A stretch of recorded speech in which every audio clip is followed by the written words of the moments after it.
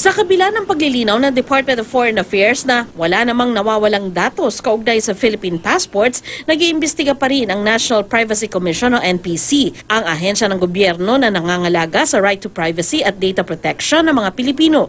Hindi raw kasi dapat baliwalain ito, lalo't mga impormasyon tungkol sa mga Philippine passport holders ang nakataya. Uh, What is important here is to establish that uh, yung data has never been in the hands of unauthorized.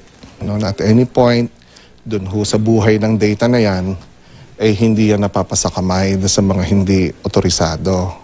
Nagkaroon ng interes ang NPC sa umuray data breach matapos ilahad ni DFA Secretary Teodoro Locsin sa kanyang Twitter na itinakbo ng dating gumagawa ng Philippine passport ang mga datos. Kahapon, nilinaw ni Locsin na hindi naman itinakbo ang datos pero merong bahagi na hindi mabuksan o kaya'y corrupted o sira. Sa sulat ng DFA sa NPC kahapon, nakasaad din na walang data breach at nananatili daw ang custody at control ng mga datos sa DFA at sa Asia Productivity Organization Production Unit, isang government-owned and controlled corporation. We'd like to be certain that when once we appear, kompleto information namin. Yeah, I think we owe it to the public na ano, we have the full information laid down before them. Hiniling ng DFA na mabigyan sila ng sampung araw para makapaghanda sa investigasyon pero binigyan lamang sila ng limang araw o hanggang lunes. Inimbitahan din ng NPC na dumalo sa lunes ang Apo Production Unit Inc. na may kontrata sa DFA para sa pag-imprenta ng passport.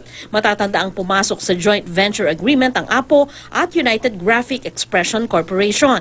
Isang transaksyong na-question na noon dahil hindi umano nasuri ng gobyerno. We are interested in the relationship ng lahat dun sa data. eh. Uh, it's different, no?